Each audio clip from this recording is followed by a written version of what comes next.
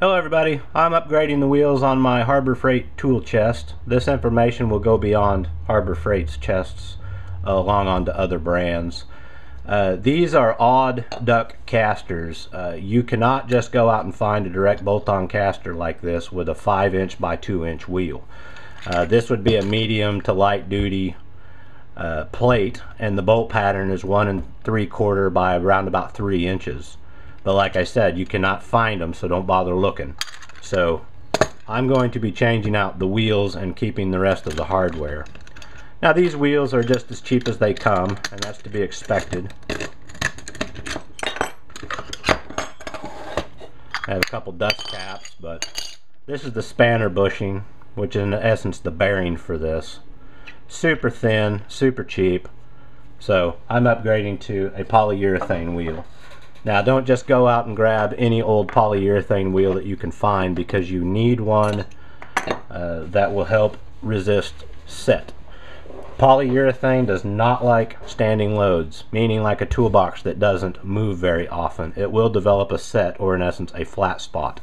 And then over time, when you go to roll it the next time, you'll be bumping over the flat spots. So a lot of the wheels you just go out there and find they're going to be in a Shore A scale for their durometer hardness. Uh, I'm, I purchased a wheel that is in the D scale and this is a 55D so it's much harder than the A scale. Uh, for reference this is a Colson caster. This has a polyolefin polyolefin center. Say that five times fast. If I said it right, I don't know.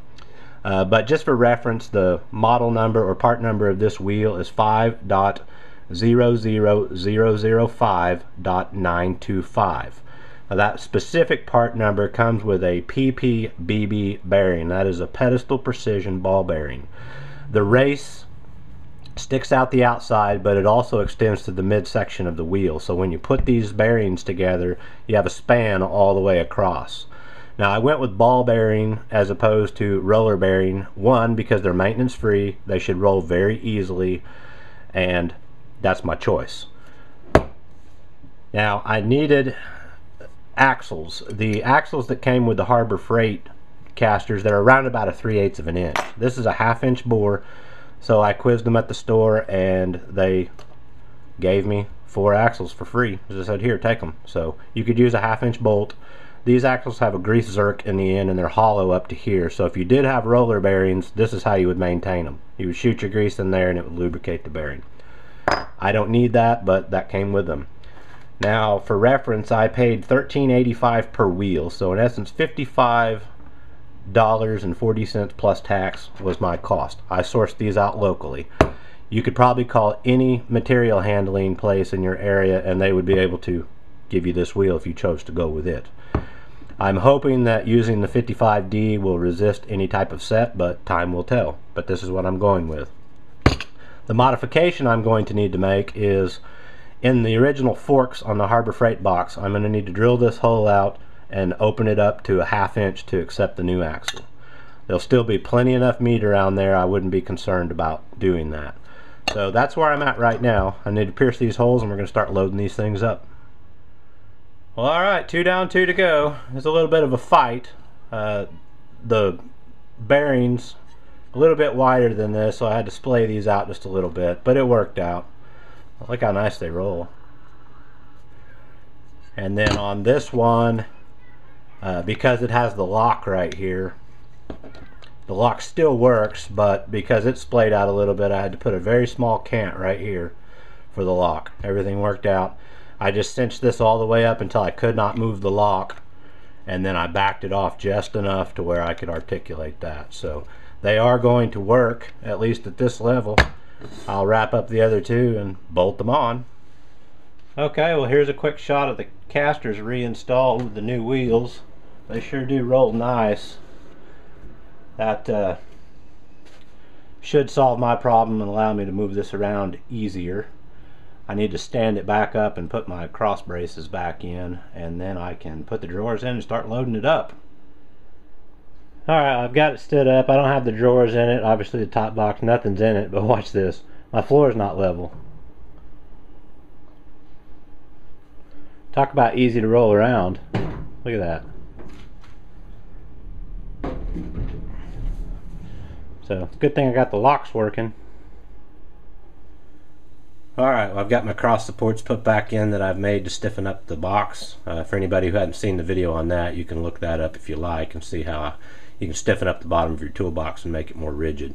Very easy, simple to process to do. Uh, these have been cleaned up painted, reinstalled.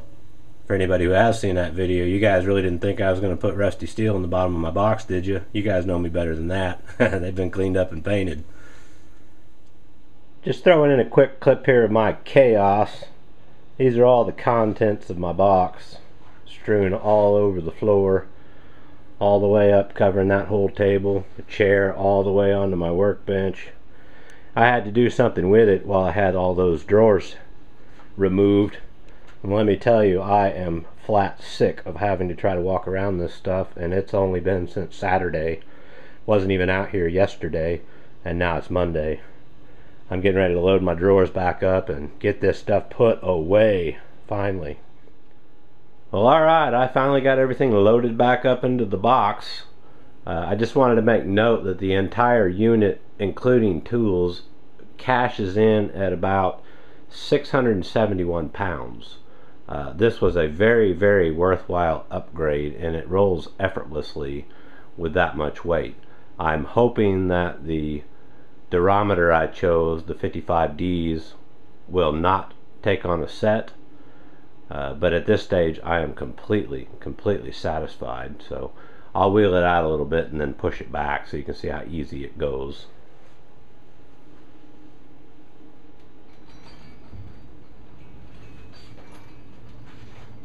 And it will take off and roll on its own if you're not careful